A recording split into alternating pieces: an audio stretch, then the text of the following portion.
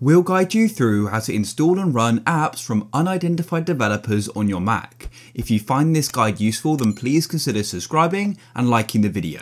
So this can be really annoying, but Apple has put it in place for your safety. But to go and basically install the app, which is giving you this pop-up or run it, go and open up your system settings.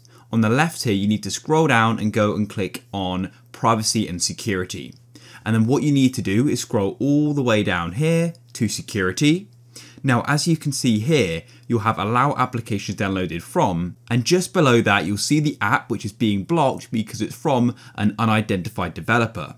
Now I'm getting this pop up, which is actually slightly different. Mine here will be worded slightly different from yours as mine is a system extension, but if you're sure you want to go and run it and install it, then all you need to do is go and click on the button and it will then begin. So click allow and you'll then be prompted to go and enter your password and then you can go and run the application which was originally blocked. Now what we can do is if we come to allow applications downloaded from, we've got App Store and then App Store unidentified developers what we can do is get a third option, so therefore you won't have to come here and allow it and run it every time.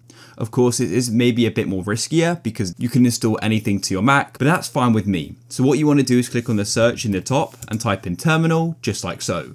And then what you want to do is type in sudo space spctl space, then tap on the dash button or hyphen button twice, like so, and type in master, all one word, and then another hyphen or dash, disable, just like so. Hit enter, you'll need to go and enter your password. Hit enter, and it should then go and run.